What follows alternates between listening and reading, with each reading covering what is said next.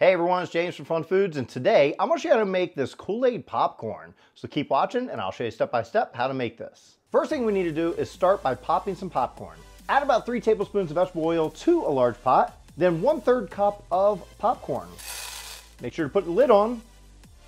Bring this to the stove over medium heat and pop until all the corn stops popping.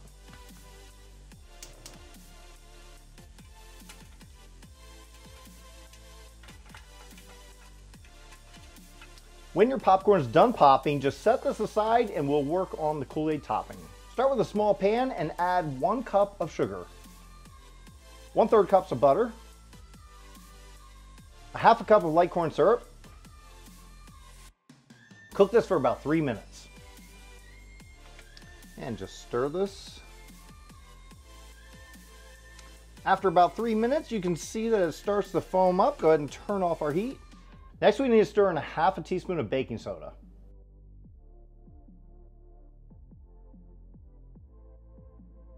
Then choose your favorite package of Kool-Aid and add that in. Doesn't matter what flavor.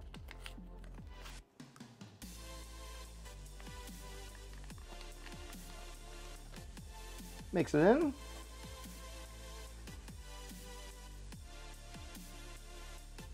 Now add our Kool-Aid mixture to our popcorn and mix it well.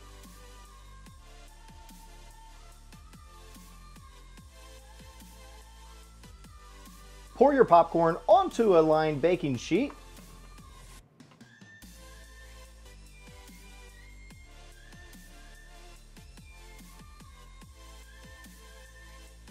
Spread it out onto one thin layer.